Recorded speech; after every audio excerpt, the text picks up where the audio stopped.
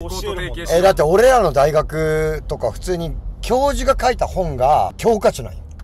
だけど必ず毎年100人とか200人とか生徒が入ってくるやん。必ずいや教授が儲かる。1000人とかが1000冊売れると毎毎年必ず。必ず教授が儲かるロジックそう教授はバリ稼げる。しかも上下とか1年2年ってやったらその前期後期でね。で4年分やったらマジで儲かるよ。大学の先生が一番稼げるってことですか？うわ。いやずるい。だって自分の本がそのまんま。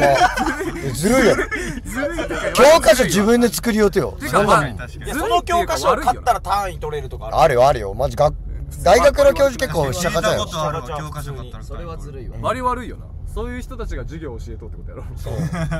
よ くないセミナーみたいな経営学部とかに俺入ったのに経営のこと一切教えてくれ銀太てか経営学部考えたらお前経営者じゃないやんみたいな社長ああいやいやそうよ、ま間違いないよ違いない俺なんて本当に入るだけで単位くれる人とかおるよ。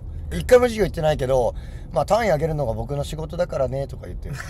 でそう言って本当に分からんくて。でもやっぱさすがにテストだけはいかないあげれんなちっちゃん。すごいいいやつ。テスト行ってもでも授業一回も行ってないけん何も分からんわけやん、先生に一応聞いて本当に分からんっすみたいな、って言ったら「名前間違えんなよ」って言われて。